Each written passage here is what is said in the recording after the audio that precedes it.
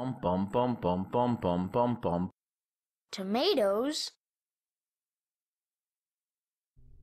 Hello, welcome to video 4. What is capsule overlap, actors, and components?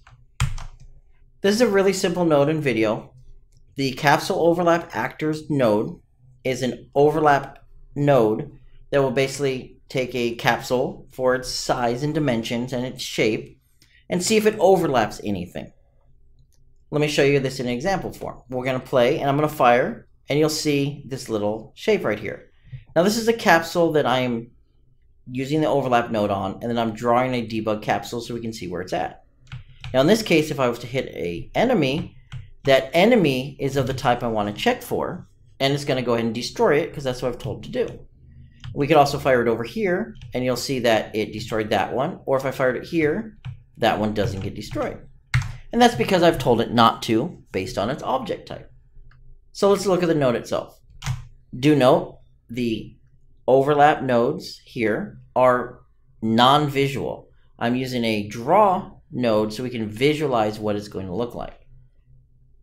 The nodes are really simple and they are very similar. They actually have the same inputs and near identical outputs. The only difference being we're going to get back the actors we hit or the components of the actors that we hit.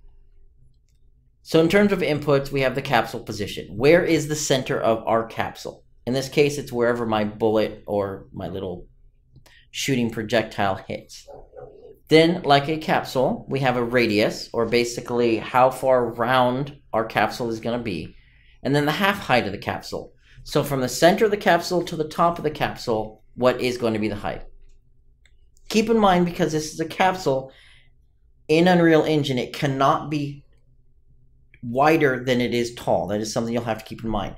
In this case, for example, we see 100, 300, and if we fire it, we'll see this little capsule that goes up. Now, if I was to change it to, like, for example, to be radius of 150 for the height, uh, 50 for the height, and we hit play, and we fired it off, you're still going to see an issue here. And that's because of the fact that it can, the radius and the half height well, first of all, sorry about that. Let me correct this. We kind of need to update our draw debug as well. Like I said, there's no visual component, so we need to match it up. There we go. And you'll see that it actually looks more like a sphere at this point in time. We'll shoot this, and you can see it's a sphere. Because our half height could not be any smaller than our radius. That's just the way it works. We'll see if we do this. Switch this back to 100 on both of them and hit play and fire. You'll notice we get the same result. So keep that in mind. Capsules, it's the way they work. They cannot be wide capsules. They have to be tall capsules only. Let's go and move this back to what I want. So 300 for the half height. And we'll look at the other options. The required option on this is going to be our object types. If I disconnect it and compile, we get an error. We have to have some sort of an object type or an object collision channel to check against. What I mean by that is in our project settings, we have default types. Object channels can be customized as well, and this is what's going to check against. And those collision settings will be inside of whatever you're going to check against. In this case, if we were to drag off and type make array and did make array, this is the easiest way to get some items inside of there. So I've got it set up now where I'm going to check against pawn. So I only want things with the object type of pawn to come back as a valid result.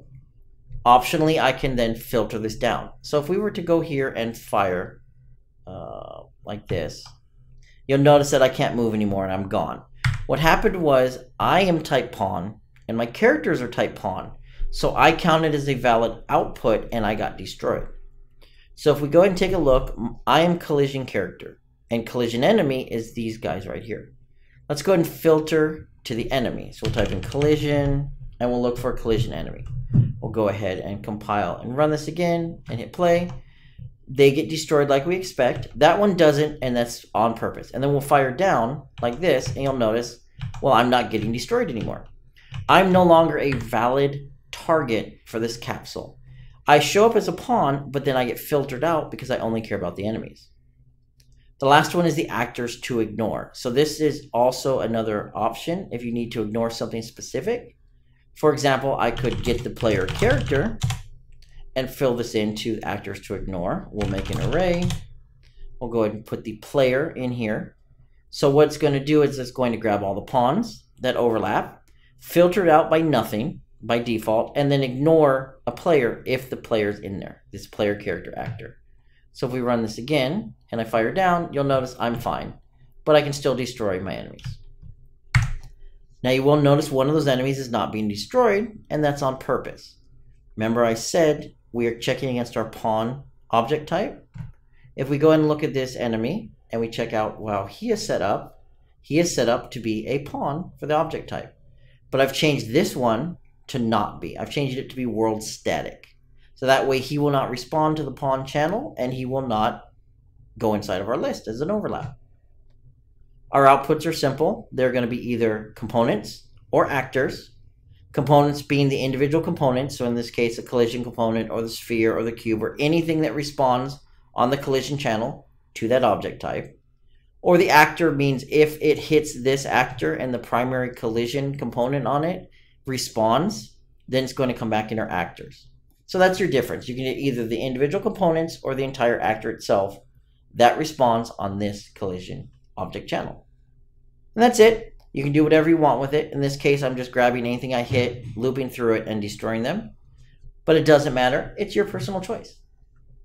So that's going to wrap up our capsule overlap actors and components nodes. Takes in where the capsule starts, our radius and our half height of our capsule, which object channel for collision we want to go ahead and check against. This one is required. Optionally, which ones to filter, only these ones will be filtered. We'll only keep these ones. And then which ones we want to remove. These are ones that will be removed from our list. If anything's left, we'll get a positive value out of our return, and then we'll get an array of either the actors or the components that met our requirements.